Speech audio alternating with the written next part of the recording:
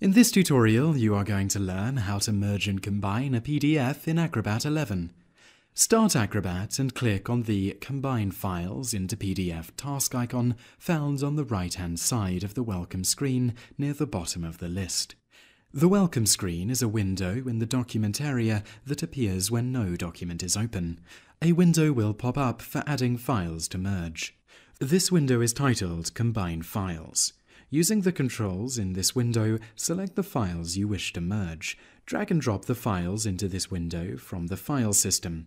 View the files as a list and not as thumbnails by clicking on the Switch to List View button found near the top and right hand side of the window. This allows you to see the order in which the files are going to be combined. Acrobat will start with the files at the top of this list and add files further down to the end of your combined document.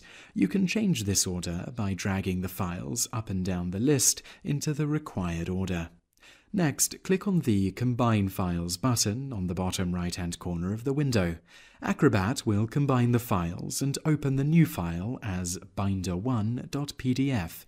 This document is not saved and you must choose File, then Save to save the merged PDF file. This is how to merge and combine a PDF in Acrobat 11.